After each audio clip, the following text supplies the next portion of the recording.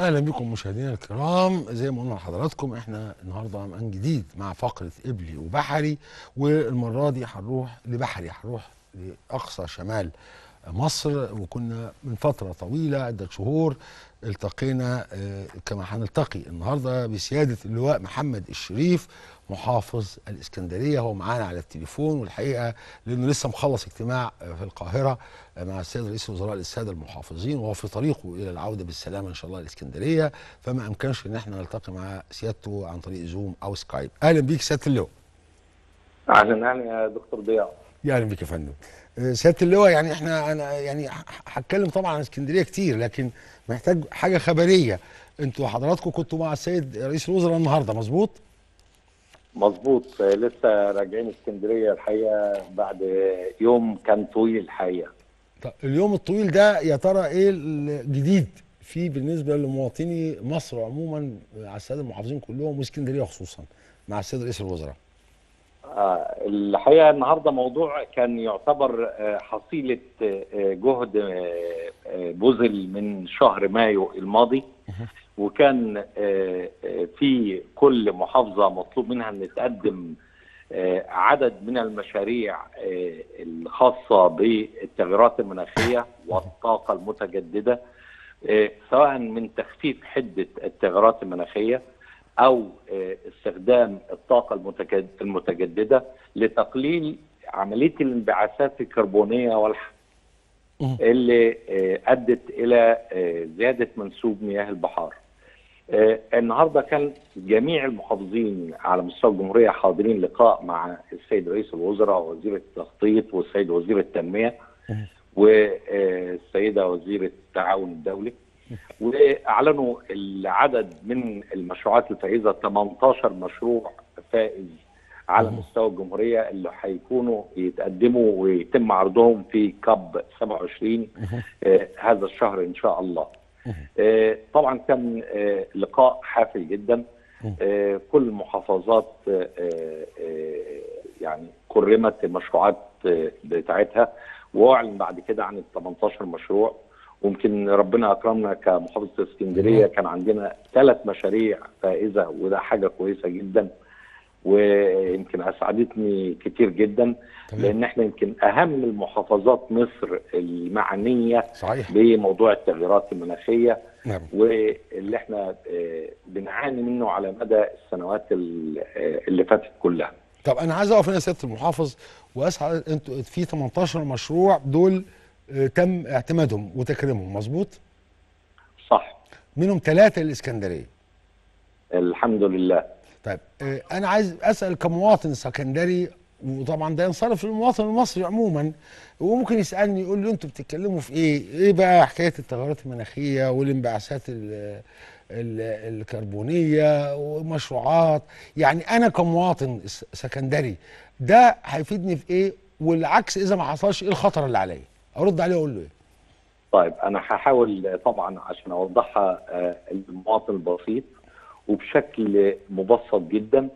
وباختصار شديد جدا أيضا لأن الموضوع موضوع ضخم مش سهل صحيح آه، خلينا أقول إن إحنا آه، على مدار آه، السنوات الخمسين أو الستين سنة الأخيرة بدأ العالم يرصد آه، آه، ويلاحظ إن هناك ارتفاع في منسوب سطح البحار والمحيطات. طيب ده ناتج عن إيه؟ ناتج عن ذوبان الجليد في القطب الشمالي نشرحها للناس يزول. البحار كلها واصلة لبعضيها فالناس تبقى فاهمة آه. ده والمحيطات آه. فالمية فالتلج لما يسيح في القطب الشمالي المية بتزيد وتدريجيا توصل لغاية اسكندرية مظبوط طبعا ودايما بوضح مثل قطعة الثلج الصغيرة اللي بتدوب في ال في ال- آه، القطب الشمالي. دي يعني في حجم دولة إيطاليا. يعني ده بيؤدي إلى ارتفاع منسوب آه، آه، سطح آه، مياه البحار والمحيطات تمام طيب بيذوب ليه خلافا للسنوات السابقة. لأن في هناك ارتفاع في درجات الحرارة. درجات الحرارة بترتفع ليه لأن في انبعاثات كربونية. وغازية من وثاني أكسيد الكربون بتخرج من الدول الصناعية الكبرى بتؤثر على الغلاف الجوي بتؤدي إلى ارتفاع درجات الحرارة. تمام. وده اللي بيخلينا بنعاني حاليا من حاجة اسمها التغيرات المناخية. طب التغيرات المناخية دي بتعمل عندنا إيه؟ بتخلي الصيف أشد حرارة. صحيح. والشتاء أشد برودة. مهم. وتخلي وتخلي هناك رياح قوية جدا ما كناش متعودين عليها. بتؤدي إلى أمواج عالية جدا مرتفعة تؤثر على الشواطئ بتؤدي إلى ارتفاع منسوب سطح البحر وتآكل الشواطئ ويبدأ عملية النحر. كل ده نتائج آه، للتغيرات المناخية. يبقى إحنا المطلوب من العالم كله إن يقاوم آه، التغيرات المناخية دي ويتكيف مع الظروف ال- المحيطة به ويمنع أسباب ارتفاع درجات الحرارة عشان مياه البحار والمحيطات ما تزيدش عن هذا آه، آه، الحد. إحنا لو آه، بدأنا نقول في سنة آه، 44 كان في السنة الواحدة بيزيد ارتفاع سطح البحر مليمتر واحد. في السنة. إحنا في 2012 لغاية 2020 و21 دلوقتي بنزيد سنتيمترات كتير جدا. واختلفت الأبحاث في في الزيادة دي من 6 سم لغاية 64 سم طب يعني آه يعني ست الأبحاث العالمية كلها بتشير إن هناك خطورة على المدن اللي بتطل على آه، الشواطئ وخاصة شواطئ البحر الأبيض المتوسط. وده اللي خلى في يوم من الأيام رئيس وزراء بريطانيا السابق قال إن محافظة اسكندرية معرضة للغرق. صحيح. وخلال السنوات القادمة. آه، الناس بتعتقد إن آه، إحنا مش واخدين بالنا. لا آه. الدولة واخدة بالها كويس جدا. ومن سنوات طويلة. وتم تكليف وزارة الري اللي فيها جهاز حماية الشواطئ. تتولى مسؤولية حماية الشواطئ لمصر على بشكل عام واسكندرية بشكل خاص. طبعا هقف هنا يا سيادة المحافظ لأنه ده كان سؤالي الحقيقة. يعني دلوقتي إحنا عندنا مصر كدولة على بعضها ومعاها دول العالم هيقعدوا في شرم الشيخ للمرة ال 27 عشان يشوفوا إيه الاجراءات الملزمة للجميع فيما يتعلق بتغير المناخ ده عموما.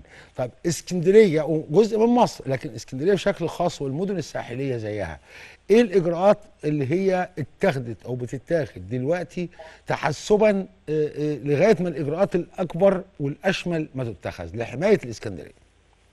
آه، خليني أبدأ الأول وأقول لك إحنا شفنا في عام 2015 واللي حصل من غرق وكميات أمطار كبيرة جدا.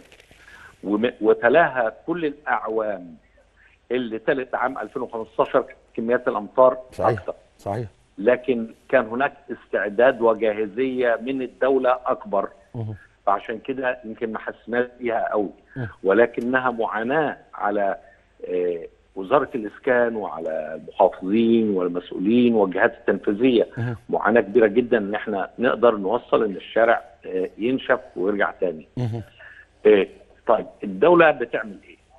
جهاز حماية الشواطئ التابع لوزارة الري عامل عندي في وأنا هتكلم عن اسكندرية طبعا. لانها هي تخصني حاليا صحيح آه، عامل ثمان مشروعات ضخمة جدا حواجز لحماية الشواطئ بتكلفة مليار و660 مليون جنيه. ده معمولة في المناطق اللي أكثر تعرضا للنحر. آه ودول شغالين فيهم على مدى آه العامين الماضيين. ويكاد يكون الثمان مشروعات انتهوا على خير وكان الأهم بالنسبة لنا إن يتم آه الانتهاء من مشروع تأمين قلعة قايتباي. مهم. دي قلعة تهم العالم كله. صحيح. آه، قلعة تراثية وأثرية فتم عملية حفظها والحماية الخاصة بها بالكامل. طيب بعد ما يخلص الثمان آه، مشاريع دول وهم يمكن آه، خلال الشهور القادمة هيتم الانتهاء منهم لا عندنا في ثلاث مشروعات أخرى ضخمة برضو على سواحل. محافظة الإسكندرية هيتم فيهم آه، برضو وضع حواجز من هذه الحجارة تكلفة الثلاث مشاريع مليار و900 مليون جنيه تقريبا. المشروعات دي سياده المحافظة الجمهور يعني آه، أهلنا في اسكندرية شايفينها مش على الورق ده مش ورق ده قدامهم على على الشط مظبوط؟ وهم شايفينها الحجارة الكبيرة جدا الضخمة دي اللي شكلها زي النجمة. وبأمانة يعني هي شكلها مش مريح للعين بالنسبة لأهل اسكندرية أو ضيوف اسكندرية. لكن آه، دي حاجات لازم آه، نعملها. بعد فترة الحواجز المائية دي هتبقى آه، ساقط تحت المية. مش هتبقى ظاهره ولكنها بتحمي الشواطئ الخاصة باسكندرية من آه، عمليات النحر. آه، سعادتك أشرت إلى المؤتمر العالمي الكاب 27 تمام. التكلفة يا فندم الخاصة بحماية الشواطئ على مستوى اسكندرية أو على مستوى مصر كلها تكلفة رهيبة. وعالية جدا. طيب إحنا عاوزين نرجع يا دكتور ضياء.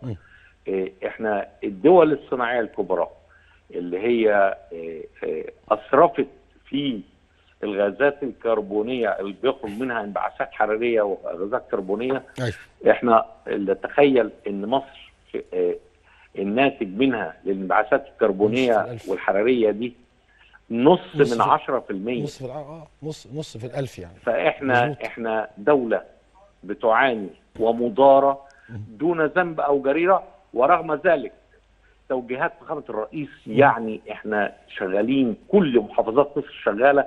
مع آه، الحضر الأخضر. والتكيف المناخي